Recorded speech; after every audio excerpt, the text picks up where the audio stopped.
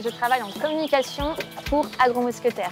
Agro-Mousquetaire, c'est quoi? C'est le pôle producteur du groupement Les Mousquetaires. Ce ne sont pas moins de 60 usines partout en France. Nous produisons du pain, des couches, des produits de la mer ou encore du fromage. Et tout ça, c'est que du Made in France. Nous sommes là aujourd'hui pour vous faire découvrir les unités de production qui sont pourtant habituellement fermées au grand public. Donc c'est plutôt une grande chance. Nous allons pouvoir rencontrer des collaborateurs qui sont fiers de vous montrer leur métier, leurs activités. Nous nous retrouvons aujourd'hui dans le Perche avec mes deux acolytes du jour, Sissi et Sirène, pour vous présenter Manufacture du Château, UP du pôle circulaire. Manufacture du Château, ils sont spécialisés dans l'achat, dans la commercialisation et dans le conditionnement d'articles de bricolage et de quincaillerie. Bienvenue dans l'usine ouverte.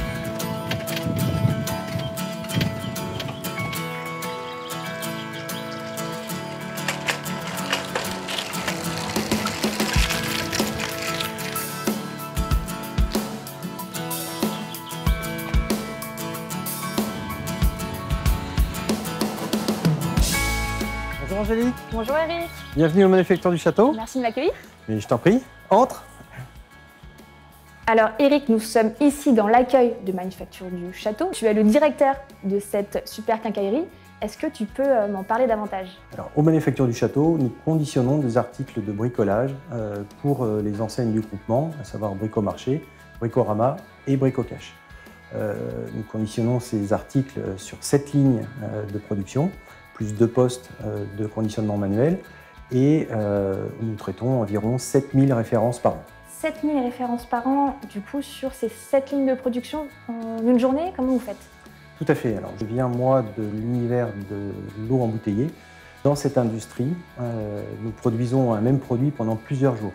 Ici, un ordre de fabrication dure une vingtaine de minutes, donc euh, une forte rotation. Donc la différence est assez, euh, assez énorme, si je comprends bien. Vous me parlez de conditionnement et non de fabrication? Exactement, nous ne fabriquons rien, nous conditionnons pour nos clients les articles que nous recevons de nos fournisseurs. Je vois autour de nous qu'il y a des, des valeurs ici dans cette entreprise, euh, des certifications par exemple peut-être? Oui, exactement. Depuis 2009, nous sommes certifiés ISO 9001 et depuis 2017, ISO 14001, donc autour de l'environnement, et ISO 26000 euh, sur la responsabilité sociétale des entreprises. On parlait aussi donc, de manufacture du château et vous me disiez qu'il y avait un autre établissement MDCEA, si je comprends bien. Est-ce que vous pouvez m'expliquer peut-être cette histoire très rapidement? En 2013, nous avons euh, créé l'entreprise adaptée, donc qui accueille des, euh, des travailleurs en situation de handicap, mais pas seulement. Euh, L'une des valeurs fortes des manufactures du château et de MDCEA, c'est l'inclusion.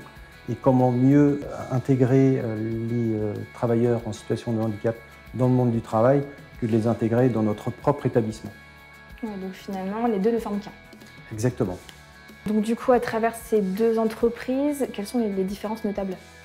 En fait, la réelle différence, c'est que le travail est manuel du côté euh, de l'entreprise adaptée, tandis qu'il est très automatisé chez MDC. Alors le bricolage, la quincaillerie, c'est un bien grand mot. Quel type de référence vous rentrez chez Manufacture du Château? Alors, nous conditionnons des articles de plomberie, euh, des raccords, euh, des accessoires de machine à laver, des joints, mais aussi côté quincaillerie, euh, des écrous, des chevilles, des clous et des vis. On a de quoi construire notre maison avec ça. Exactement. On peut peut-être aller voir comment ça se passe? Avec plaisir, Angélique. Je te laisse me suivre. On y va. Voilà, Angélique, nous sommes sur le quai. On est équipés. Chaussures de sécurité, gilet jaune, la C'est ça. Euh, Il y a un conteneur qui vient d'arriver. On va le décharger et c'est là que pour nous tout commence.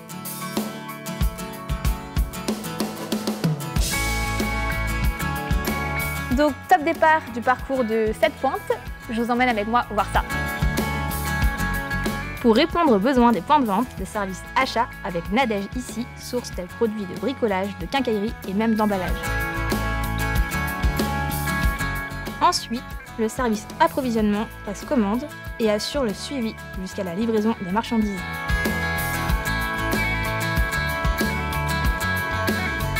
Dès leur arrivée, les produits sont pris en charge par les équipes des manufactures du château. Franck, comme vous voyez ici, stocke les produits dans la zone d'attente. Il passe ensuite par un contrôle qualité qui permet de vérifier la conformité avec le cahier des charges défini en amont. les produits sont stockés dans la zone matière première. Puis, ils sont transférés en zone de production pour être conditionnés sur les différentes lignes. Notre pointe est conditionnée sur la ligne appelée perche.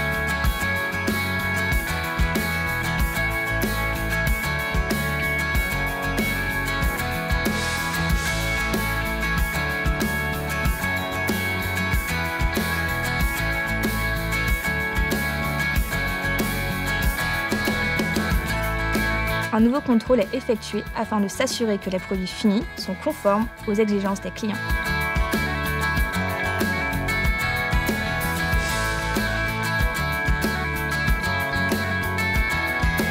Notre fameuse pointe est, pour finir, acheminée sur la base de garancières avant d'être distribuée au point de vente.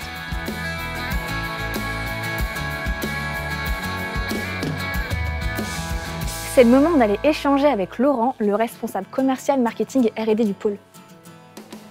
Bonjour Laurent. Bonjour Angélique. Donc Laurent, la RSE, c'est quoi au Manufacture du Château? Alors chez Manufacture du Château, j'ai envie de dire que la RSE, il y a deux volets. Il y a un premier volet, c'est le social, où on fait travailler, euh, je veux dire, un certain nombre de personnes en situation de handicap. Et puis le deuxième volet, ben, c'est euh, développer des produits et des packaging les moins polluants possibles pour la planète. Euh, et c'est ce qu'on s'est attaché à faire sur les deux dernières années à peu près, euh, en développant des nouveaux emballages. Créer des packaging de la sorte, euh, il faut prévoir de nombreux investissements au sein des manufactures du château. Exactement. On a, on a lancé des nouvelles lignes de une nouvelle ligne de production qui nous permet d'arrêter de produire des emballages en PVC, entre autres, des coques en PVC. Et on a tout basculé sur des emballages en, en carton, recyclés, et avec une toute petite fenêtre en plastique euh, ce qui nous permet au global de réduire euh, la mise sur le marché de 29 tonnes de plastique, quasi exclusivement de PVC, mais euh, de plastique en règle générale. Ça a dû être un travail collectif, je suppose. On a commencé par, bah, j'irai en discuter avec notre client, parce qu'à la base, il faut quand même qu'on puisse répondre et satisfaire les besoins de notre client. Ensuite, je veux dire, ça a été aussi un travail participatif au sein de l'ensemble de l'usine, avec gérer notre, notre partie technique, et puis évidemment avec les équipes d'agro-mousquetaires, puisqu'on a été accompagné par euh, un ingénieur packaging d'agro-mousquetaires. Et puis euh, sans les investissements d'agro-mousquetaires, on n'aurait pas pu sortir notre ligne de production non plus. Et donc je suppose que ça plaît au point de vente Ils ont tous été euh, absolument enthousiasmés par le projet et par la manière qu'on a eu d'aborder la problématique environnementale. La prochaine étape, c'est de travailler sur notre propre marque, la Fabrique Percheron, où on avait développé des étiquettes en PET, euh, il y avait, alors le grammage était euh, relativement faible par rapport au coq PVC, mais euh, l'idée c'est de passer ces étiquettes en PET en étiquettes papier. Écoute, un beau challenge à venir pour les équipes de manufacture Exactement. Je te remercie Laurent. Merci Angélique. Ah bah tiens, une ILV et elle m'a l'air vraiment en carton, donc je pense que la démarche est complète ici. Hein. Donc là, on vient juste de voir euh, Laurent. Tu me corriges si je me trompe, hein, Eric, mais la RSE ne s'arrête pas uniquement au packaging. Non, en effet. On a fait euh, bah, des investissements pour changer euh, l'éclairage, pour mhm. passer un éclairage LED qui est beaucoup moins énergivore. On a également un troupeau de moutons pour faire, qui fait de l'éco-pâturage pour entretenir nos espaces verts. Et quant au volet social, est-ce que c'est important autrement chez vous? On a développé euh, des consultations euh, pour l'ensemble du personnel. Euh, le nouvel investissement qu'on a vu tout à l'heure, c'est la ligne s'appelle Perche. Après qu'on ait demandé à l'ensemble du personnel de faire des propositions, il y a eu consultation, un vote, et donc ça, a été également le cas pour la fabrique Percheronne, donc pour le nom de la ligne, mais aussi pour notre changement de logo qui vient d'intervenir. Super, donc il y a un nouveau logo tout récemment. Exactement, et puis chaque trimestre, on réunit euh, l'ensemble du personnel et euh, tous les chefs de service présentent la performance de leur, euh, de leur département, ils donnent les chiffres. À présent, nous allons retrouver Annabelle, qui est la responsable qualité, sécurité et environnement de Manufacture du Château. Bonjour Annabelle. Bonjour Angélique. Est-ce que tu peux nous parler un petit peu de ton quotidien dans l'entreprise? Alors mon quotidien, c'est la sensibilisation, l'accompagnement des collaborateurs, la communication sur l'importance de la sécurité et la santé au travail. Ça passe aussi par le suivi d'accidentologie des deux sites, en collaboration avec les collaborateurs, puisque nous mettons ensemble différents plans d'action, donc ils sont vraiment euh, impliqués dans le, dans le suivi de l'accidentologie. De quelle manière vous les impliquez, les collaborateurs? On passe par des réunions en fait, on fait des réunions avec eux, on les sensibilise et puis on, on leur propose des outils comme l'arbre des causes par exemple. Au niveau de la sécurité, euh, donc il y a deux entreprises au sein de Manufacture du Château, MDC et MDCEA. Est-ce qu'il y a une différence notable entre les deux entreprises? Pas du tout, ils sont complètement inclus les deux sites. Euh, on ne fait pas de différence, c'est exactement la même chose. La sécurité, c'est la même pour tout le monde. La sécurité, c'est un fait, mais il y a aussi le bien-être des collaborateurs qui est important euh, pour vous, si je ne m'abuse. C'est ce que nous avons mis en place depuis quelques années avec euh, la création euh, d'un comité qui s'appelle Relais d'écoute, euh, qui nous permet d'aider, du moins soutenir les collaborateurs contre les risques psychosociaux. C'est eux qui peuvent nous solliciter en cas de besoin. Je vois derrière nous une belle fierté pour l'entreprise, n'est-ce pas? Une belle fierté puisque concernant le site MDC, nous sommes presque à trois ans et demi sans accident de travail, donc oui, c'est une fierté. Est-ce qu'ils sont euh, impliqués euh, autant les ent- deux entreprises les unes que les autres Bien sûr, MDCA et MDC sont impliqués dans toutes les réunions qu'on peut faire, dans toutes les sensibilisations et les formations. Super, merci. Merci à toi. Bonjour Philippe. Bonjour Angélique. Ici, on se trouve dans un bâtiment qui est plutôt imposant. Oui. Euh, ce sont les produits finis, c'est Oui, ça? tout à fait. Là, nous sommes euh, sur du bâtiment produit fini où nous avons 19 palettiers avec 4 palettiers euh, dynamiques et euh, nous travaillons sur des allées étroites avec des chariots philo-guidés. Nous avons la possibilité de stocker 204 000 bacs et 6 700 palettes. Combien euh, de camions passent ici tous les jours? Alors tous les jours, nous avons une accroche-décroche pour la base de Garancière en Beauce où nous préparons 12 600 colis qui va redispatcher sur tous les bricomarchés, les bricoramas et les bricocages de France. Euh, Tu me parlais juste avant de chariots philo-guidés. Qu'est-ce que c'est? Ce sont des chariots spécifiques où nous évoluons sur des allées étroites où vous voyez au sol, nous avons des fils où le chariot vient accrocher le fil et une fois qu'il est sur le fil, on ne peut plus sortir de l'allée. Donc on, on travaille en toute sécurité. Donc je suppose qu'il faut une formation spécifique euh, pour fait. être euh, cariste. Nous sommes tous titulaires d'un KSS 6 où nous avons été formés pour descendre en rappel avec harnais. Et au cas où, ça n'est jamais arrivé heureusement, euh, le chariot tombé en panne avec les fourches euh, engagées dans un des palettiers ferait vraiment descendre en rappel. Donc nous avons tous suivi une formation. Au vu de cette formation spécifique, vous avez peut-être des besoins en recrutement? Alors nous avons des besoins, nous avons des difficultés également à recruter des KSS 6, hein, puisque bon, c'est vraiment spécifique. hein. Par contre, ce que nous avons mis en place, c'est une formation. Chaque année, nous formons 4 à 5 personnes avec une société euh, certifiée. Merci à toi, Au Philippe. plaisir, Au revoir. au revoir.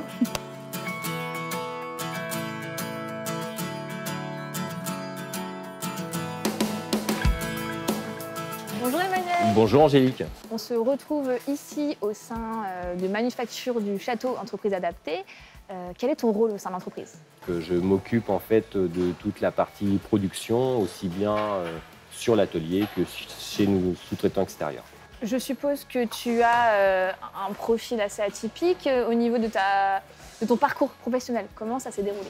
Alors oui, en fait, donc euh, moi j'ai commencé en, 2010, en 2007 pardon, euh, en tant que magasinier cariste hein, au niveau de manufacture du château. En 2016, j'ai pris euh, le poste de chef d'équipe au niveau de la sous-traitance, du service sous-traitance. Et puis euh, le 1er octobre 2021, donc j'ai pris les fonctions de responsable d'activité sur MDCEA. Mais il peut y avoir aussi des passerelles qui vont de MDCEA à Manufacture du Château avec des personnes et tout effectivement qui ont débuté sur Manufacture du Château, entreprise adaptée, et qui sont maintenant aujourd'hui opérateurs sur Manufacture du Château. Du coup, comment on fait pour être un, un bon manager, si je peux dire? Alors aujourd'hui, j'ai la chance d'intégrer le parcours de manager de proximité, voilà, qui est dispensé au sein d'Agro Mousquetaire, un parcours qualifiant et euh, qui permet bah, de compléter, de- d'approfondir les connaissances euh, en termes de management.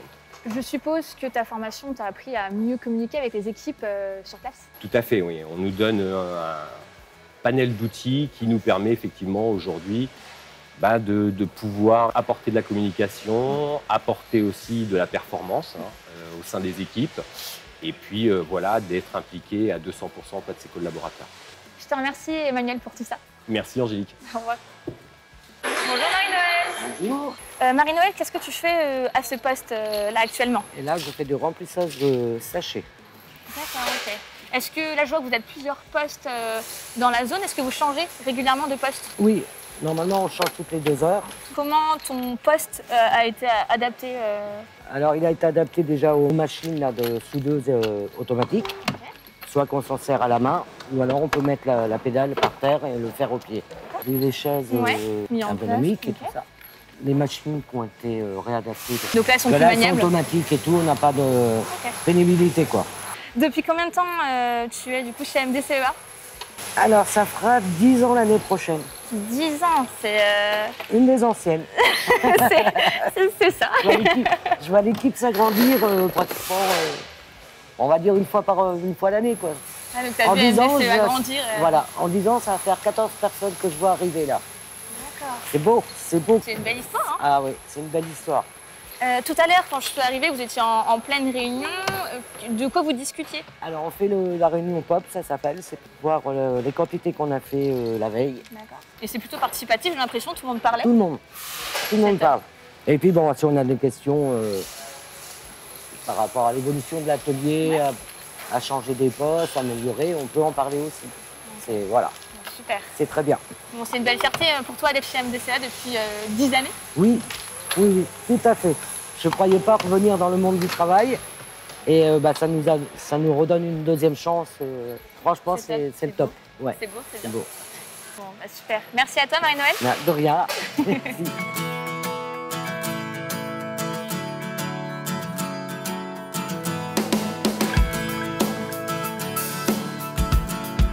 Bonjour Thierry. Bonjour Angélique. J'ai encore mon gilet jaune, comme tu vois. Je viens de rencontrer Marie-Noël chez MDCEA. Et ça s'est bien passé? La démarche de responsabilité sociétale ne date pas d'aujourd'hui. euh. Non, elle ne date pas d'aujourd'hui. Donc, euh, à la création de Manufacture du Château en 95, euh, tous les UVC, les unités de vente consommateurs, euh, ne peuvent pas être conditionnés en automatique. Donc, il y a entre 40 et 50% qui sont sous-traités euh, via euh, les ESAT, donc où, euh, où il y a des personnes en situation de handicap. Donc l'idée a germé de dire bah, pourquoi on ne créerait pas, nous, notre entreprise adaptée, d'amplifier la démarche sociétale qu'on avait déjà. On a commencé à investir sur des tables, sur des chaises ergonomiques, sur des tapis anti-fatigue, sur des soudeuses automatiques, soit au pied, soit à la main. Enfin, tout un tas de petits matériels qui évitent effectivement les manutentions. Maintenant, il y a euh, sur les 23 personnes, il y a euh, trois personnes non en situation de handicap. Parce que la problématique de l'entreprise adaptée, c'est surtout le port de charge. Donc, l'embauche de personnes euh, valides va nous permettre effectivement de pallier à ce, à ce genre de problématique. On fait de l'accompagnement socio-professionnel. hein. On a une personne qui vient pour accompagner les personnes en situation de handicap au niveau social, avec des entretiens euh, réguliers, des, euh, parce qu'on appelle accompagnement socio-professionnel, c'est on enlève euh, toutes les problématiques personnelles qui pourraient effectivement euh, perturber, perturber euh, l'activité professionnelle. Ça signifie que les collaborateurs de Manufacture du Château euh, ou alors de- des collaborateurs de Manufacture du Château entreprise adaptée peuvent passer de l'une à l'autre, c'est ça? Euh, on a euh, une personne que j'avais embauchée au tout départ qui est passée en entreprise ordinaire, c'est-à-dire qu'elle a basculé sur Manufacture du Château puisqu'elle était conductrice de machine euh, dans sa chose. Et mon plus grand plaisir, euh, mon plus grand plaisir, ce serait effectivement de les personnes qui ont été mises à disposition pendant euh, un ou deux ans, qu'on a embauchées en CDI, donc sorties des AT, je leur redonne effectivement le, goût du travail et, elles en ont la capacité en entreprise adaptée et ce serait de les basculer en entreprise ordinaire. Donc là, je serais l'homme le plus heureux de la Terre. 10 ans l'année prochaine, qu'est-ce que vous en retenez Ah, je retiens que c'est une euh, super aventure humaine.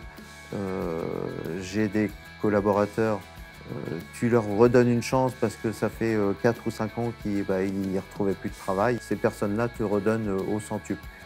Il faut, il faut que MDCVA soit un exemple, que ce soit au niveau du groupement ou que ce soit euh, ailleurs, pour intégrer le, le- le- le plus de travailleurs, effectivement, euh, travailleurs handicapés. Et, et comme je disais tout, là- tout à l'heure, ils nous le rendent au centuple. C'est euh, c'est- des bourreaux de travail. Quoi.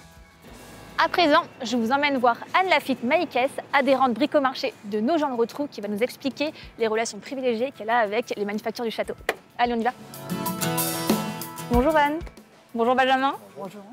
Anne, votre point de vente donc, de nos gens retrous est situé à seulement quelques kilomètres des manufactures du, château. Euh, Est-ce que ça facilite les interactions entre euh, les deux entités? Ah oui, bien évidemment, ça facilite euh, les échanges euh, euh, qui, ont commencé par des relations presque commerciales, enfin euh, avec Benjamin et ses équipes euh, comme clients. Et puis euh, nous avons eu la chance de, de faire un transfert donc euh, en 2018. Et là, ça a vraiment euh, permis d'asseoir vraiment toutes ces relations et de euh, travailler en collaboration de manière euh, très très très étroite. Donc je suppose que euh, posséder un, un point de vente euh, juste auprès de l'unité de production, euh, c'est important euh, pour vous dans votre gestion de, de tous les jours? Ça nous sert sur, euh, bah, sur le- l'imp- les implantations, les tests qu'on peut avoir, des relations qu'ont nos collaborateurs avec, euh, avec les responsables de rayon. Mais, oui, c'est un vrai atout pour moi que tous les collaborateurs aient cette proximité avec les points de vente et puissent, euh, puissent bien euh, matérialiser euh, leurs actions, qu'elles soient sur Intermarché ou sur Bricomarché comme, comme nous. Anne, comme vous le savez, Manufacture du Château développe à présent des packaging euh, en, carton. Quel est votre sentiment vis-à-vis de, de cet engagement de l'unité de production? Les produits restent les mêmes, mais on en avait déjà échangé avec euh, Benjamin il y a déjà même plusieurs années maintenant sur euh, cette nécessité de faire évoluer euh, notamment les packaging. Et, je suis vraiment ravie que ce soit arrivé dans les points de vente maintenant et, et- les consommateurs sont obligatoirement satisfaits, voire du plastique. Maintenant, ça devient un petit peu, un peu passé. Quoi. Enfin, les, co- les co- les- les clients sont vraiment dans cette attente. Je vous remercie à tous les deux Merci. Merci à vous. et je vous souhaite une bonne continuation. Merci. Merci bien.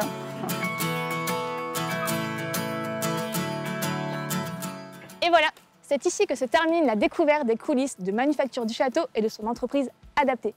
Je suis ravie d'avoir pu vous faire découvrir ces deux unités de production. En attendant de se voir en vrai, c'est sur usineouverte.fr que ça se passe. À bientôt